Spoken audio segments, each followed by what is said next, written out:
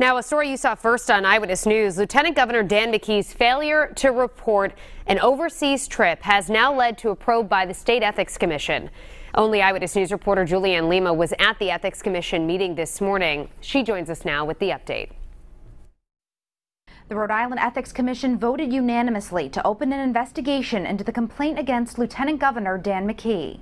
After meeting behind closed doors, a decision was made. The commission found that the complaint states facts that, if true, um, would constitute a knowing and willful violation of the code and we authorized a full investigation of the matter. The formal complaint was filed by General Counsel for the Rhode Island Republican Party, Brandon Bell. This after the Target 12 investigators discovered McKee failed to report a trip to Asia two years ago. The Taiwanese government paid for the trip, which cost $3,500. Financial disclosure is really important, and it's important to be careful when you fill out these forms. And on the other hand, sometimes people make mistakes, and when they do, we ask them to fix the mistake and generally to pay a small fine. McKee previously said he made a mistake by not documenting the 2017 trip because he misunderstood the question on the form. As soon as he was questioned by Target 12, he amended the record. But Bell says that excuse isn't good enough. In a statement to Eyewitness News, Bell said the commission's decision sends the appropriate message to all public officials